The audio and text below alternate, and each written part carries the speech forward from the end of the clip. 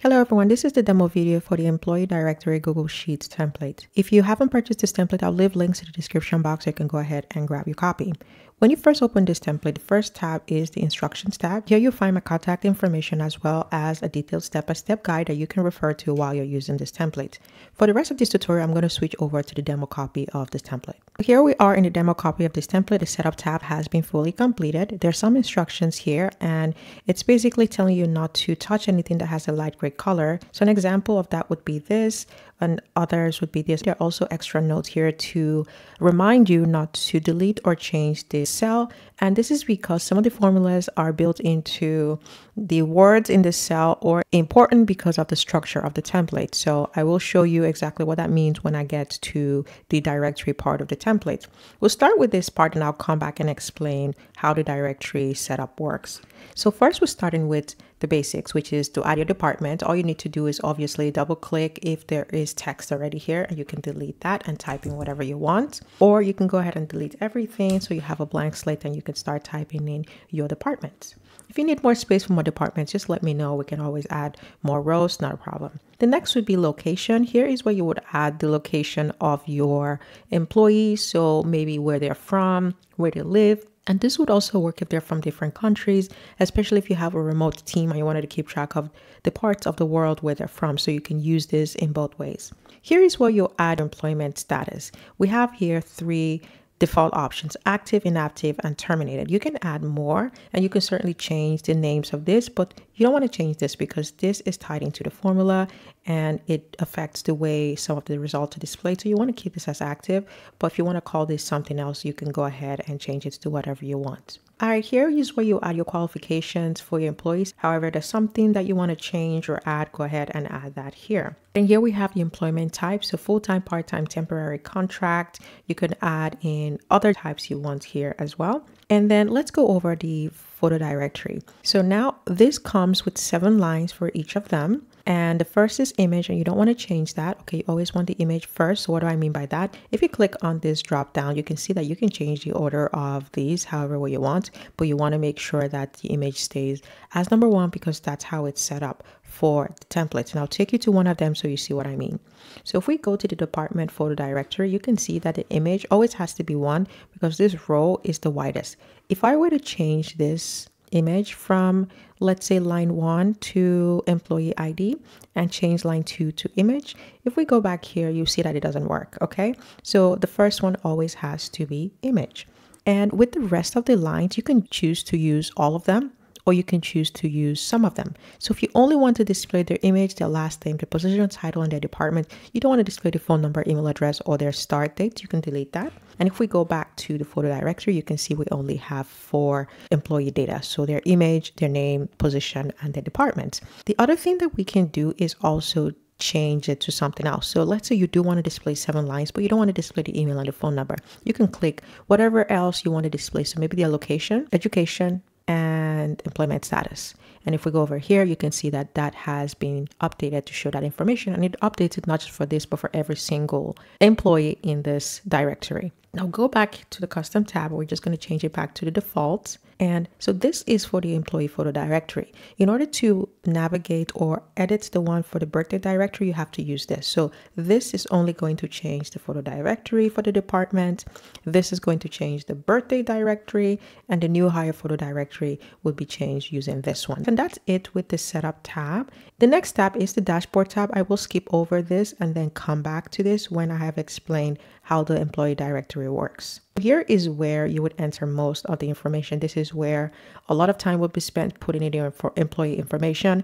And of course, if you're doing this for the first time, it will take a little bit more time to put in all of your employee information. But hopefully, as you have done that and new employees come in and out, it's just a matter of updating the template as you need to. The first tab is where you would type in your employee name, last name, comma, first name, and you would just type this here. Okay, so this has data already in it, delete, and then you what you see here is a placeholder telling you the order of the information that needs to be typed in. Okay, so you will see placeholders in many of these columns because this table has been designed using this new table feature. It gives you an idea of what needs to go in the column. The next column is the image column. And here you can see we have the pictures that have been enter it in. Let's say you want to add the image for this employee. Click into that cell, insert image in cell, pull the image into your template by clicking on browse. Of course, if you have the images already existing in any of these areas, you can click on that. But just to show you, the most common way would be to upload it from your computer. Click on browse. Here I have some of the images that I already used. So I'm just going to click on this one, for example. We're just going to click on that and click open and it's as easy as that. Now we have the image right here and you just repeat the same steps for every single employee. I should point out that this image has been formatted in a square format. So in order for it to be uniform, you need to use a square format. If you want to edit your images so that they're all in a square format, you can use a program like Canva that has a square frame or you can pop all the employee pictures in the frame, download it and upload it into the template. And if you need a template to do this so that all your images are organized for Canva, I have a free copy. I can share that with you. So just let me know. All right, so here is where you'll add your employee ID, their date of birth, double click and pick the date. You are also welcome to type in the date and the format would be always month, date, and year. All right, here you can type gender, and if you want to edit this, because this is not in the setup tab or in the custom tab, go ahead and click on this edit icon. Change the colors if you want. You could add other options if you want. Next, the position and title. Type in that information for the specific employee and the department is a drop down because we have entered the department in the custom tab right here. Now it's just a matter of selecting an option from the options that exist. If you need to change a department or add a new department, go back to the custom tab and add it here. So let's say we wanted to add something like ABC department. Okay, so we'll add it here. When we go back here, we can now select ABC department. The next would be to type in the supervisor name. If it doesn't apply, just leave it blank. Then we have a start date. So this would be the start date of employment. And this is important, just like with the date of birth, because we do have the directories that would allow us to filter by date or by month. So enter the start date as accurately as possible. Phone number, email address are self-explanatory. The education, again, is another drop-down. We do have the custom tab that has all of the educational levels. So if you want to edit it, again, you're not going to be using this edit button. Don't do that. Go to the custom tab and edit the qualifications here. Here we have a location. If you have remote workers from all over the world or all over the country, you can use that location to kind of give an idea of where all of your employees are from. The employment type also, full time, part time, you would be editing in the custom tab as well as the employment status. If you do make a change, these colors are going to change. So, let me show you what that means. So, let's say I have active, inactive, and terminated. And let's say I want to change this to active, not active for some reason. So I'm going to go back to custom tab and change this from inactive to not active. So I have not active. If I go back here, you can see that anywhere that I had inactive now has this error message because inactive no longer exists as an option. It tells you you have to select something from the options you have. So if I click on this, you can see not active shows up, but not active does not automatically pick up this orange color. I have to edit it right here. So normally I would say don't use this edit button. The only time you're going to use this edit button is if you want to change the colors. So as you can see, not active doesn't have a color assigned to it. So we're going to reassign a color. So we have the three colors here, not active, and terminated and click done. And once you do that, it changes the inactive. So we're going to change it to non-active. Okay. Inactive, non-active, and that has been updated. So just keep that in mind. If you do decide you want to change anything, that is a drop down that has a color. It's super easy. Just click on that pencil icon and reassign the colors as you need to. Now the end date is going to apply to the employees that are terminated or inactive. So for active, you can leave it blank. If the employee has been terminated at the termination date, the years of service will calculate it from the start date and today's dates. So if I change it to September 23rd, 2021, and we go here, you can see the years of service is exactly three years because between 2024 and 2021, we have exactly three years and the month is also September. Now, if this employee status were to change to terminated, for example, now you'll be obliged to enter an end date. So go ahead and enter an end date. So we'll use today's date and the years of service stays at three years because it's exactly three years. But let's say I change the end date to July 1st. So as you can see, the years of service now calculates based on the end date as opposed to using today's date. So that's the difference. So if I change this from terminated to active, okay, and remove this end date, you can see the years of service now updates to three years. The years of service and the anniversary dates are calculated automatically. And that is also why these columns are the light gray color. So you don't want to edit them. They do have formulas that will automatically calculate it based on the start date. Here we have the home address name of the emergency contact as well as the phone number. And here I have a column for salary if you want to keep track of that, so how much they earn per year. And if you're using this template and you are not going to use the dollar currency, go ahead and select the entire column. Go to Format, Number, Custom Currency, and then you can type your currency here. For example, British pound or Egyptian pound, and you can select that. Click on Apply, and it changes the entire column to pounds. And finally, we have a last column for notes. So you can add whatever notes that you want to be attached to this employee information. All right, we have a mini dashboard here. And in this mini dashboard, you can see that we have 84 active employees and 18 that have been terminated or that are in an inactive status. Right now we have 84. If I change this from active to inactive, you see that number changes to 83 and this number increases to 19. Here is a quick filter that can allow you grab information quickly about an employee.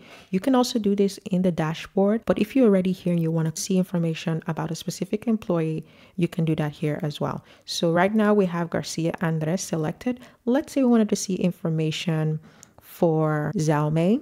Okay, so we'll go here and feel free to scroll and select the employee or you can type it. Okay, so if I were to type it, you can see that we have two options here and that makes it easier if you have a really long list. So we're going to click on this and for this specific employee, the employee ID shows up here, the position, the department, the start dates, their email address, phone number, employment status right now it says no end date because they're active and i change this to not active. You can see changes here and of course if i add an end date it shows up here. And then the notes that we have added to this section shows up here and then here we have more information like the home address and the emergency contact as well. Now we're going to move over to the directory to show you how that works and it will end with reviewing the dashboard area the first is the department photo directory, as you can see here. In this directory, you can filter by department. So right now it has been filtered by the marketing department. If I were to remove this, it shows you all of the employees and this can hold up to 100 employees. If you wanted to narrow down by department, you can go ahead and select the department. If the employee is inactive, as is the case for this employee with ABC, nothing shows up here. If we go here, it is this employee, but because their status is inactive, it doesn't show up. So I'm going to change this to active. Okay, and delete this end date. And once we go back here, you can see that the employee shows up here. Let's select another department. It will filter all of the employees that have been assigned to the IT department in the directory tab. As you can see, department is highlighted here. Like I mentioned before, if you want to edit the order or what shows up here, go to the custom tab and use this to edit that information. The next directory is the new hire or new employee welcome.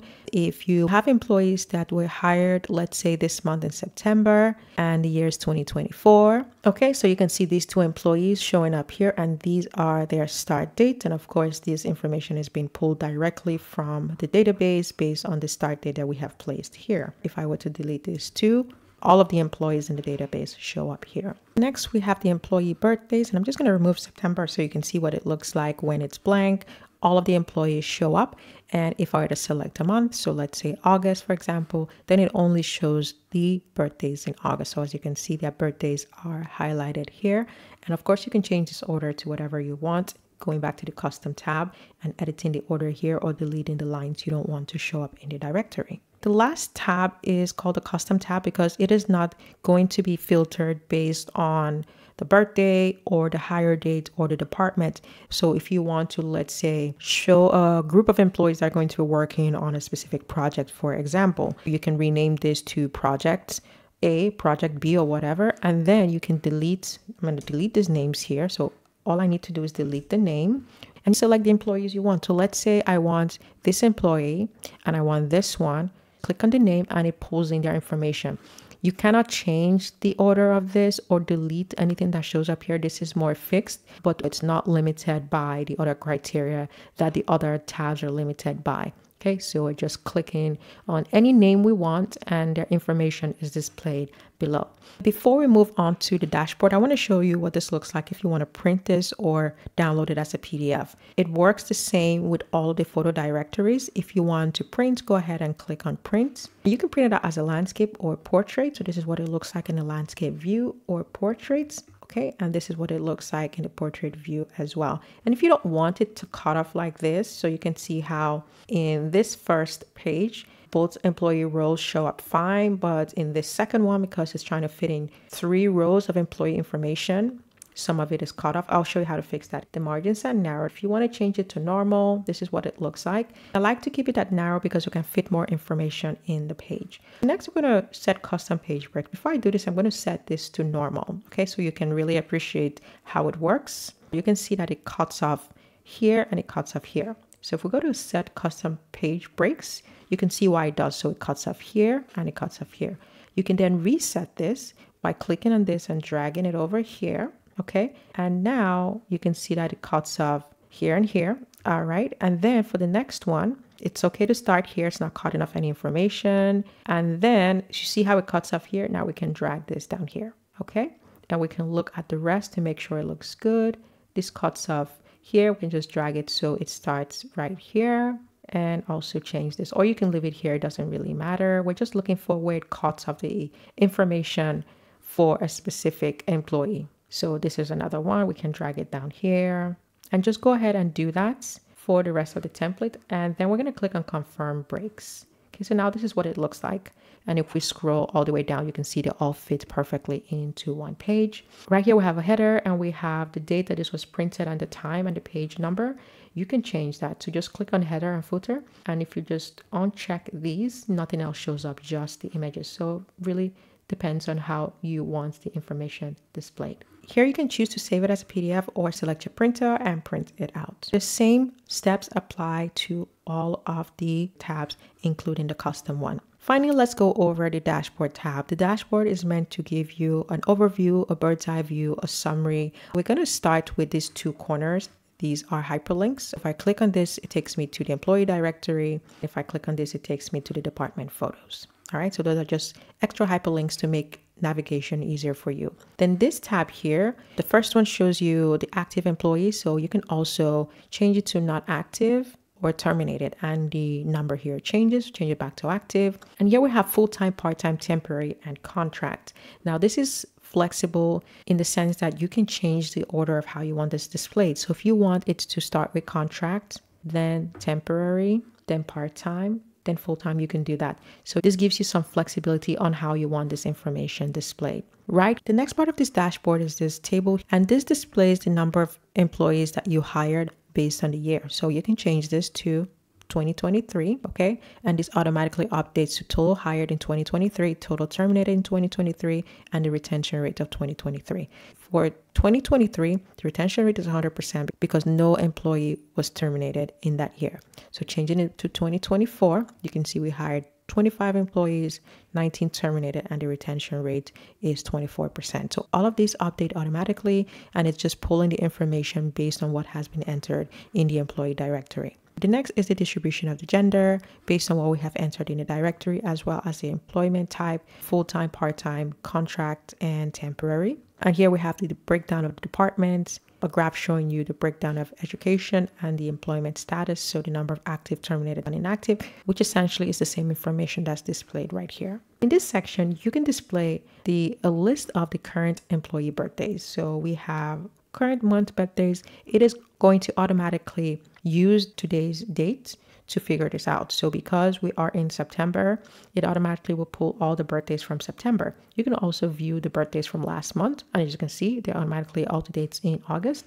And if we go to next month, it pulls all the dates from October. The same applies for the anniversary. Last month's anniversaries in August, current month's anniversaries are in September, and next month's anniversaries, we have no anniversaries for October, so it shows you're not applicable. And finally, in this part of the dashboard, you can view individual employee information. So right now we have this employee selected. If I were to change this to another employee, you can see the image shows up here, their position, their contact information, and some details about their employment. And this is also something you can print out. So you can select this entire area just like so. And you can go ahead and click on print. And now instead of current sheet, click on this arrow and click on selected cells and then you have just that employee information showing up. You can go ahead and print it. So that brings me to the end of this tutorial. If you have any questions like i said before my contact information can be found here.